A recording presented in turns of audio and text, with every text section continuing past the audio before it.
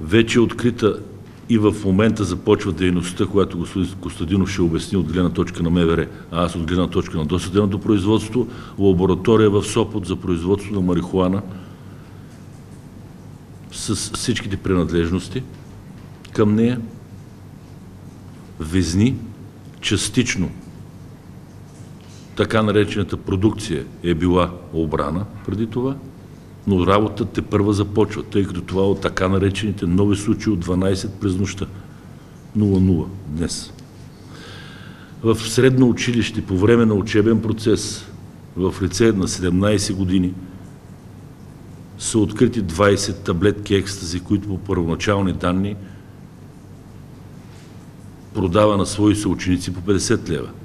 Иначе казано, целта на съвместните усилия на прокуратурата и МВР да предотврати, доколкото е възможно, разпространението в и около училищата започва да дава своите резултати.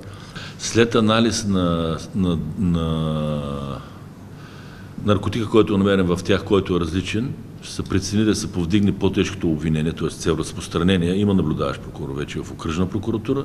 Те първа се запознава и общо взето го затвор до 15 години, само че той е непълнолетен и след редукцията може да е до 8.